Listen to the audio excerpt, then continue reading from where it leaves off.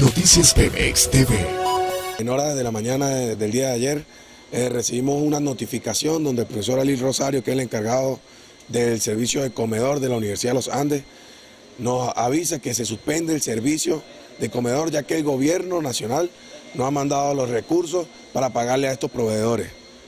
Es increíble cómo tenemos que llegar a un paro prácticamente inducido por el gobierno, un paro técnico, cuando venimos de un paro de profesores en el cual nosotros nunca estuvimos de acuerdo y ahora los muchachos se quedan nuevamente sin clase porque fue una medida que se tomó aquí entre las autoridades eh, profesorales y las autoridades eh, estudiantiles para no afectar a los muchachos. Aquí la mayoría de los jóvenes que están viendo clases son jóvenes de, fuera del estado, son jóvenes de fuera de la ciudad, son jóvenes que están residenciados y muchas de esas residencias, muchos de esos cuartos no tienen derecho a cocina.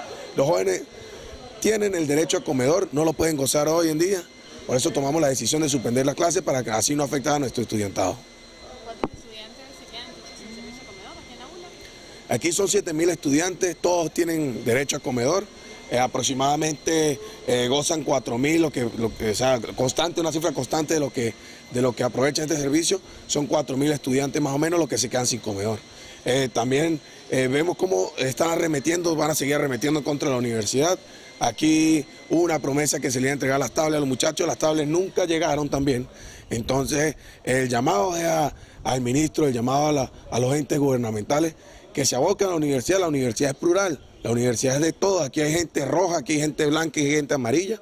Y tenemos que seguir adelante con esta universidad que es la casa de estudio de todos los venezolanos. Síguenos, arroba TVPMX.